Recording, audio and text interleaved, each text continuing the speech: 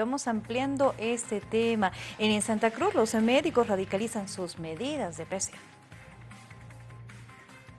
Este martes los médicos cumplen 44 días de paro indefinido en demanda de los cinco puntos pendientes contra el gobierno. Sin embargo, se rehusan a reinstalar las mesas de diálogo con el Ministerio de Salud. Ante este capricho, el más perjudicado es el ciudadano quien busca atención médica, mas no la encuentra, corriendo el peligro de que su situación se agrave o complique al no ser atendido. Así como estamos nosotros aquí, no tenemos ni para comer, le digo, y no podemos sacar a mi hijo, de, hace tres días que está en la morgue, porque no tenemos recursos, no tenemos. Perjudicado y postergado para el, otro día, para el otro día y no se sabe. ¿De dónde viene usted, señor?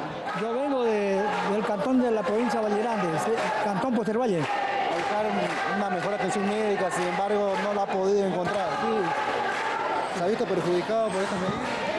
Bueno, sí, porque este, están perjudicados porque ahorita, digamos, estamos en correteo, ha fallecido uno de mis cuñados y, por falta de atención médica también, este, falta de, atención médica. Pero ¿qué dice el presidente del Colegio Médico de Santa Cruz? Henry Montero asegura que la ciudadanía necesita condiciones, sin embargo no toma en cuenta que miles de personas son afectados por lo cual ratifica que el paro continuará mientras su demanda no sean atendidas. Hoy 10 médicos radicalizaron sus medidas instalando una huelga de hambre. No, con la ministra de Salud ya hemos decidido a nivel nacional de que ya no es interlocutora válida y que tendría que ser otro ministerio que pueda solucionar el conflicto. Sí, hasta no haber solución, se ha radicalizado la medida y estamos iniciando con 10 huelguistas hoy, el primer piquete aquí en el Hospital San Juan de Dios. Ante este perjuicio y atentado contra la salud por los propios médicos, el Ministerio de Salud instaló brigadas médicas en el cual se brinda atención gratuita. Uno de los más concurridos o con mayor demanda está instalado en la Central Obrera Departamental, lugar donde hay mil atenciones por días. Esto no fue pues creado, digamos, para un hospital, obviamente. Sin embargo, hemos vaciado las oficinas por, a fin de darles condiciones. Eh, hemos abierto mm, el, tema de los auditorios para ver, digamos, las atenciones que se deben dar. ¿Cuántas especialidades hay en este punto? Eh, mire, están toda la gama de, especialidades, pediatría, ginecología, eh, medicina general, medicina interna, odontología, hemos estado también con cardiología.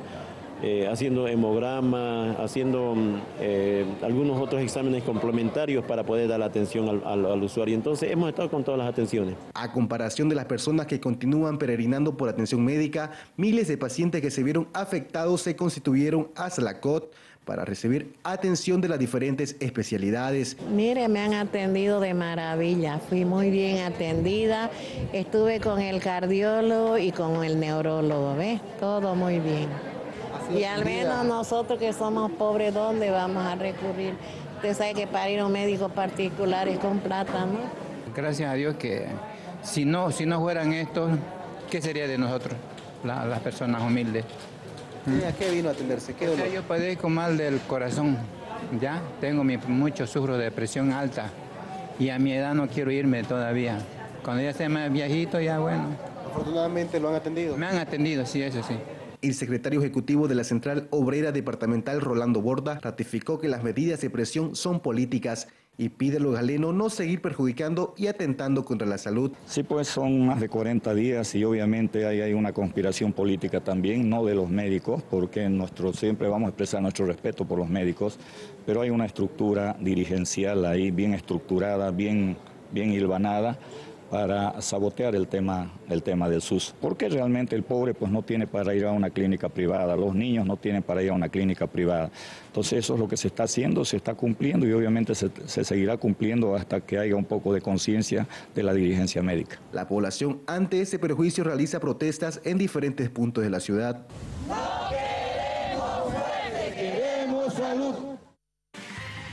44 días de paro médico. Sin embargo, este sector analiza ampliar esta medida de presión por 30 días más.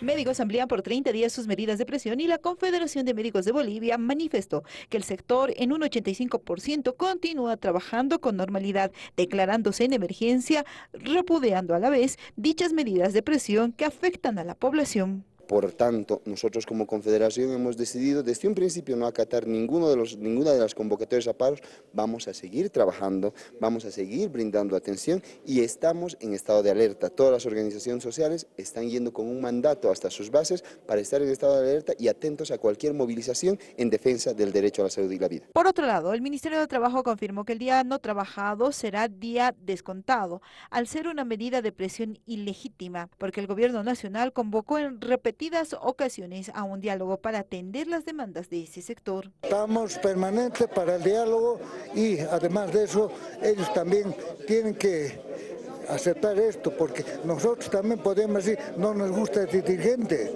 ¿no es cierto? No decimos eso, nosotros discutimos con los dirigentes que vengan. ¿Los descuentos ya han procedido? Ya han procedido.